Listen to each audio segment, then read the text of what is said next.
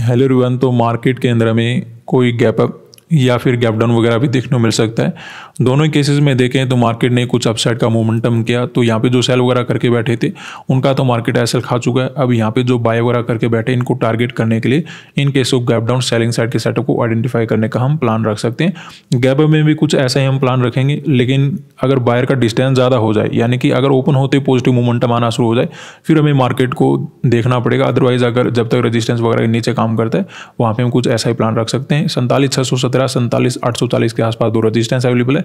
बहुत बड़ा gap down तो अच्छा नहीं रहेगा क्योंकि जिसको हम टारगेट करना चाहते हैं, वो मार्केट ऑलरेडी खा जाएगा। तो फिर हमें क्या मिलेगा? तो बहुत बड़ा गैप डाउन ठीक नहीं है। सैंतालीस, दो सौ चालीस, सैंतालीस, ज़ीरो साठ के आसपास मार्केट ने दो सपोर्ट बना रखे हैं। निफ्टी की बात करें तो आपको सिमिलर पैटर्न देखने को मिलेगा। कंटिन्यू अपसाइड का मूवमेंट हुआ तो यहाँ पे बाय वगैरह करके बैठे। इनको आराम से खाने के लिए, इनके सो गैप डाउन हम सेलिंग साइड के साइड को आइडेंटिफाई करने का प्लान रख सकते हैं। गैप में ऐसा ही है, देखिए जिस प्रकार का बैंक निफ्टी है ओपन होते कोई पॉजिटिव मोमेंटम आ जाता है, फिर हमें थोड़ा देखना पड़ेगा। अदरवाइज़ सेलिंग वगैरह आने की कोशिश करता है तो सेलिंग साइड के सेटअप को आइडेंटिफाई करने का हम प्लान रख सकते हैं। इक्कीस सात सौ अस्सी, इक्कीस छः सौ अस्सी के आसपास दो रजिस्टेंस अवेलेबल है। इक्कीस पाँच सौ तीस, इक्कीस चार सौ चालीस के आसपास मार्केट ने दो सपोर्ट बना रखें फर्दर आप मोमेंटम वगैरह को देखकर डिसीज़न बनाते रहिए। मार्केट काफ़ी ज़्यादा वोलाटाइल है। ट्रेड ध्यान से और संभल कर कीजिए। धन्यवाद।